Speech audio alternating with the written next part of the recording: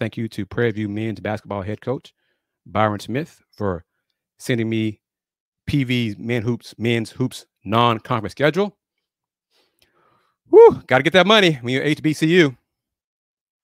First game, home game. I think it's the only home game. College of Biblical Studies, November 4th. That's a Monday. And CBS, that CBS, Lynden Rose and Michael Young are involved with the College of Biblical Studies. I did not know that until a few weeks ago. Learned something new right there. Then Prairie View goes to DePaul on Thursday, November 7th. They're at Incarnate Word on Tuesday, November 12th. Then they're in a multi team event. It's spread over roughly a week. You play SMU on November 18th, Fresno State on November 20th, and then Northern Colorado on November 23rd.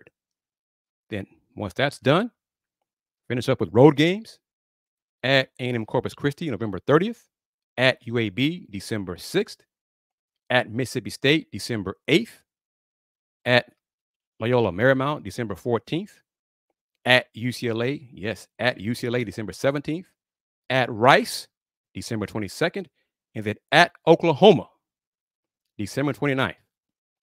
So again, when you are at HBCU, you get those check games, got to get that money at UCLA, at Oklahoma, at Mississippi State. Woo! Boy, boy, boy. That's that's that's tough.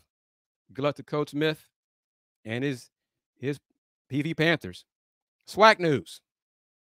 The SWAC men's and women's basketball tournament will be in Atlanta next March. The SWAC announced that the upcoming SWAC men's and women's basketball tournaments, slated for March 11th through 15th, will be hosted in Atlanta at the Gateway Center Arena. Quote from the SWAC Commissioner, Dr. Charles McClelland We're extremely excited to host our upcoming men's and women's basketball tournaments in the city of Atlanta. Atlanta is one of the top tourist destinations in the country, and hosting our tournaments here will undoubtedly give our fans and supporters a wide variety of travel options, lodging accommodations, and recreational activities upon their arrival. Atlanta is also a very unique fit for this event. When you analyze the significant amount of membership, alumni, and fan bases already located in the greater Atlanta area.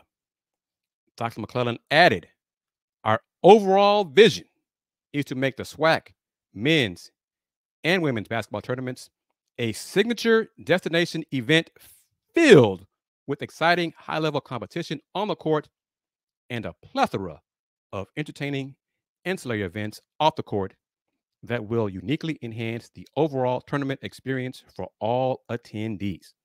End quote.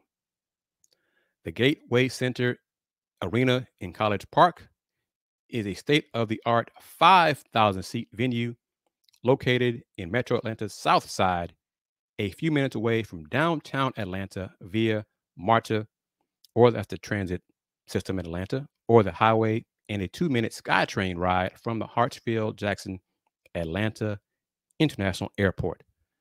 Additional info regarding the ancillary events, tournament promotions, and tickets will be released at a later date.